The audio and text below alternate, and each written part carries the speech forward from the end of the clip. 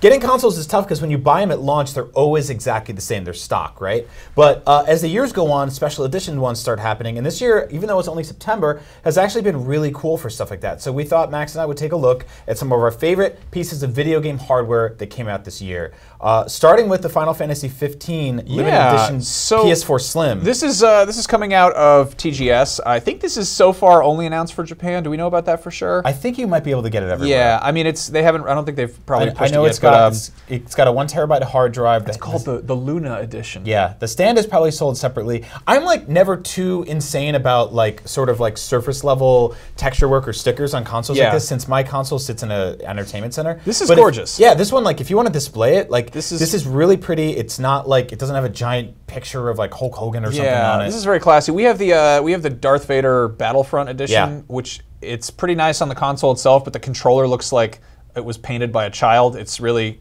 kind of ugly, but this has got like nice Roman Yeah. numerals. It's pretty much just it's just not in your face too much. So I think it's pretty nice. Yep, Uh, then you've one's got uh, kind of on the other side, you got the Gears of War. Uh, I hate my stepdad, blood ravaged action edition. Yeah, so this Uh, one I actually I'm not I'm not crazy about the controller, but the console looks like really cool. Like I like the sort of movement to it. It's got this kind of like uh, just it looks like it survived an attack, like everything else in Gears of War does. Um, we were just saying earlier about like consoles you want to show off and ones you want to put away. I think even in your entertainment center, if you open this thing up and you're met with this giant blood red console, it's pretty cool. The Like good news is also like you can totally just snack a bunch and use that controller, and it's not going to show. yeah, if you, you know? eat blood, Yeah, you you're play like, oh yeah, just uh, you just get some, you know, get some marinara sauce on there or whatever. Yep. I know what you're saying. I know what you're hinting at, Max. Yep. I do love Yep. a good marinara. Yep, you do get you.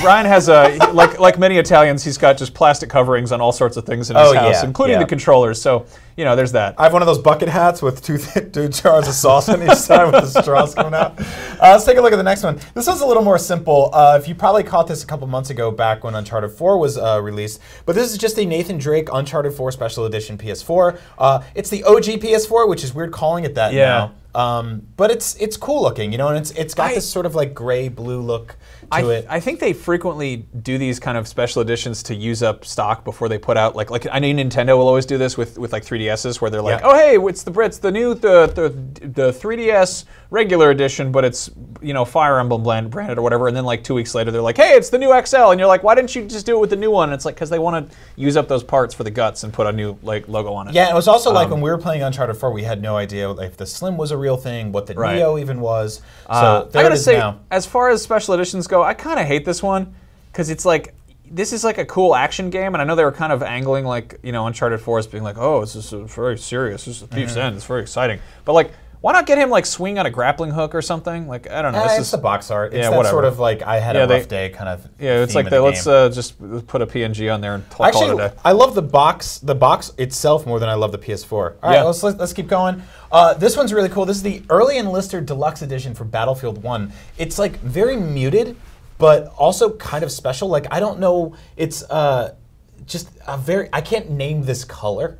Olive drab. I guess, yeah. Yeah. Like it's Uh, cool. It's it, it's sort of like this very subdued World War. It I reminds me of the. thing. It reminds me of a Zune, honestly. Yeah. Like they had that one like they had like a brown Zune, and it was just like, oh yeah, brown MP3 player. All right. Yeah. Uh, yeah. I, I I've actually talked to people about this who work in in like merchandising and I, I don't know, dealing with. Uh, hardware manufacturers Yeah. and stuff. Apparently, there are like just millions of hoops to jump through in terms of making anything that deviates from the standard box. So like I would love to see something that looks like a piece of like World War One ordnance. Like if they made the, the box look like it was half canvas and half wood, or So it's you got want like rivets you want on like it. a World War One.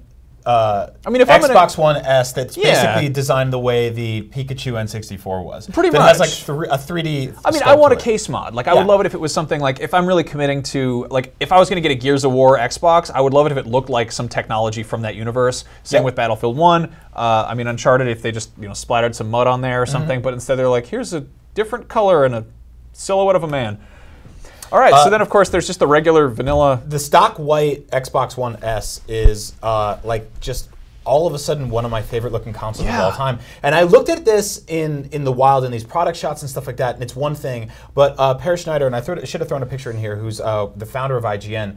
He has like a white entertainment center with like a really nice TV above it, and he put the Xbox One S right on top of it, and it just works so well. It's Yeah. very nice. It's very minimalist. It's a far cry away from the Xbox One that I got at launch that has this giant box next this is to a really. it. I think this is probably the prettiest console on the market right now. yeah, it's up there. Uh, then of course we got a brand new Vita's coming out in new Japan. Vitas, specifically, uh, all these colors have been available, but they just announced this new sort of orange red and all these the, flavors, and you the silver one. Uh, and I've I've seen silver PSPs. Uh, silver Vitas have kind of been a thing sort of for a while, but this is the new model of it. I don't like the silver at all. really? Nah, I don't think You know, the. Max, the, this is the name of the segment is our you know the I don't like it. looking, not I like the red. I think the hate. red's all right. It looks like a delicious candy. I think the silver one's. I would like the orange, but I would like to eat it.